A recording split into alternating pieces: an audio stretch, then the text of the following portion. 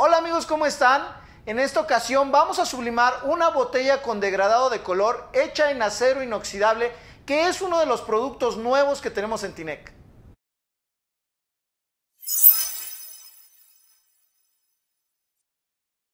Ok, ya tenemos aquí las botellas, vienen en tres presentaciones, violeta, verde y rosa.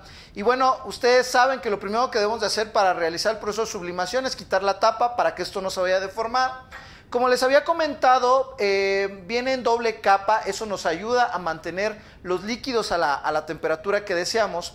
Y para sublimar este producto debemos de tomar en cuenta en el diseño el degradado del producto, es decir, vamos a tratar de que nuestro diseño quede por debajo de él para que la línea que, que, pertenece al sublimado que vamos a hacer no quede por encima del degradado y no corte este efecto. ¿Ok?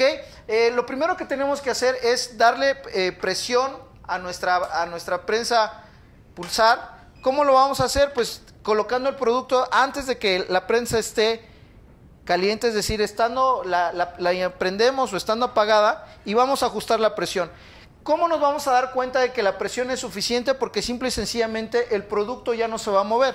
Es decir, vamos a dar una presión media, media alta y en ese momento sabremos que la, eh, estamos dando una presión sobre toda la superficie del producto y que esta a su vez es suficiente para hacer un, buen nivel de transferencia.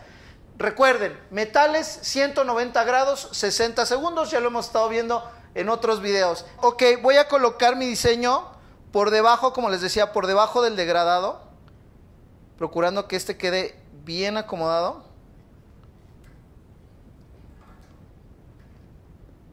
Nuevamente, la cinta térmica al centro es suficiente con una al centro. Y que no quede que no quede aire entre el papel y el producto. ¿Ok?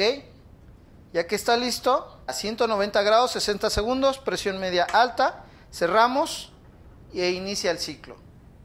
Ok, ya está por salir. Recuerden un paño porque sale muy caliente, entonces 3, ya está. Lo podemos revisar y ahí está listo. Ustedes se dan cuenta, vean el nivel de transferencia que tiene y aquí está mi producto ya terminado.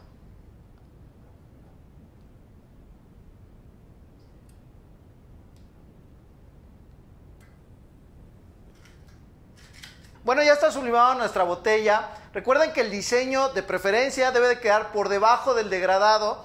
Y este producto y muchos más pueden encontrar en nuestro sitio, así como la lista de distribuidores donde lo pueden adquirir. Nos vemos muy pronto.